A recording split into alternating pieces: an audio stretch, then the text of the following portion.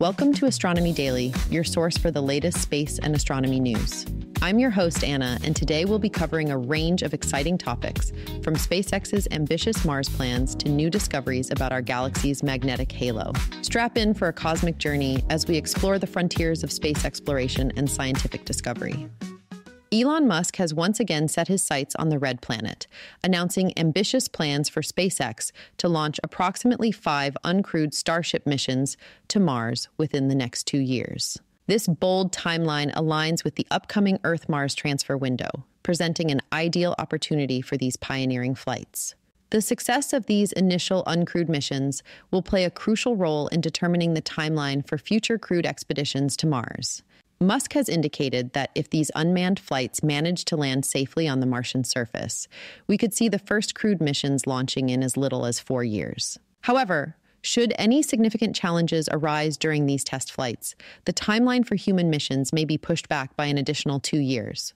It's worth noting that Musk's timelines have been known to shift, and earlier this year, he had suggested a five year window for the first uncrewed Mars landing. Nevertheless, these latest announcements underscore SpaceX's unwavering commitment to pushing the boundaries of space exploration and their ultimate goal of establishing a human presence on Mars. In other SpaceX news today, it appears a few feathers are getting ruffled on both sides of this story. The Federal Aviation Administration has recently proposed a hefty $633,000 fine against SpaceX for violating agency rules. This move has sparked a debate about safety practices in the private space industry. FAA Administrator Mike Whitaker has been vocal about the need for SpaceX to operate at the highest level of safety. He emphasized that the company, now in its 20th year of operation, needs to adopt more rigorous safety management systems. Whitaker pointed out specific incidents that led to the proposed fine, including launches in June and July of last year from Cape Canaveral, Florida, which he claims were conducted without proper permits. He stated, It's the only tool we have to get compliance on safety matters. SpaceX, however, strongly disputes these claims, asserting that every statement made by Whitaker was incorrect. The company maintains that it is the safest and most reliable launch provider in the world and is fully committed to safety in all its operations. This disagreement highlights the ongoing challenges in regulating the rapidly evolving private space industry, where innovation and safety must be carefully balanced. Now, on to some astronomy news. In a groundbreaking discovery, scientists have unveiled a magnetic halo surrounding our Milky Way galaxy. This finding is shaking up our understanding of galactic structure and evolution. The study, led by the National Institute for Astrophysics, has revealed magnetized structures stretching an incredible 16,000 light years beyond the galactic plane. These structures are connected to what are known as the E Rosetta bubbles, vast regions powered by intense gas and energy outflows, primarily caused by supernovae explosions. The magnetic fields within these bubbles are organized into thin filamentary structures, stretching up to 150 times the diameter of the full moon. What's particularly exciting is that these magnetic ridges aren't just random formations. They're closely linked to star forming regions in our galaxy, specifically the star forming ring at the end of the galactic bar. This connection provides new insights into how even relatively quiet galaxies like our Milky Way can generate powerful outflows, potentially shedding light on galactic growth processes. This discovery marks a significant leap forward in our understanding of the Milky Way's complex dynamics and the intricate relationship between star formation and large scale galactic structures. SpaceX's Crew 9 mission to the International Space Station has hit a snag due to Mother Nature. The launch, originally planned for Thursday afternoon, has been pushed back by at least two days because of Tropical Storm Helene. This powerful storm is expected to intensify into a Category 3 hurricane as it approaches Florida's Gulf Coast. NASA and SpaceX are now eyeing Saturday as the earliest possible launch date, with a tentative liftoff time of 1:17 p.m. Eastern. The decision to delay comes as a precautionary measure, as the storm's large system is expected to bring high winds and heavy rain to the Cape Canaveral and Merritt Island regions on Florida's east coast. Despite the delay, preparations continue. The Falcon 9 rocket and Crew Dragon capsule, named Freedom, have already been rolled out to the launch pad. The mission team plans to conduct rehearsal activities before moving the hardware back to the hangar to protect it from potential storm activity. As always, Safety remains the top priority for both NASA and SpaceX.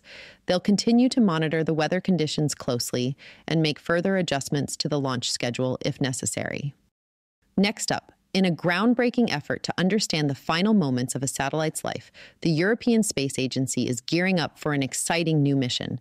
Called DRACO, short for Destructive Reentry Assessment Container Object, this project aims to capture never before seen data as a satellite breaks apart during reentry.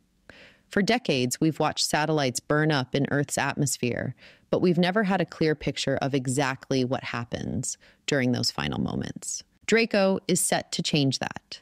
The mission will involve launching a specially designed satellite that mimics an average low Earth orbit satellite. As it plummets back to Earth, it will collect crucial data on temperature, pressure, and strain.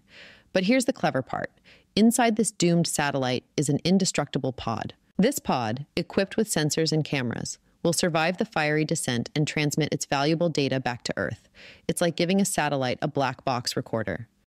This mission isn't just about scientific curiosity. The data collected will be invaluable for improving future satellite designs and enhancing our space debris mitigation strategies. As we continue to launch more satellites, understanding how to safely bring them down becomes increasingly important. Finally, today, let's return to an exoplanet that's fast becoming a friend here at Astronomy Daily. In an exciting breakthrough, astronomers have used NASA's James Webb Space Telescope to observe the atmosphere of a truly remarkable exoplanet. Known as WASP 107b, this planet is not only incredibly hot, but also uniquely inflated. What makes this observation particularly groundbreaking is the discovery of an east west asymmetry in its atmosphere. This asymmetry means there's a significant difference between the eastern and western edges of the planet's atmosphere. It's the first time such a phenomenon has been observed in an exoplanet during its transit of its star from space. This finding is crucial for understanding the climate, atmospheric dynamics, and weather patterns of worlds beyond our solar system. WASP 107b is a fascinating object. It's about the size of Jupiter, but only a tenth of its mass, resulting in an extremely low density.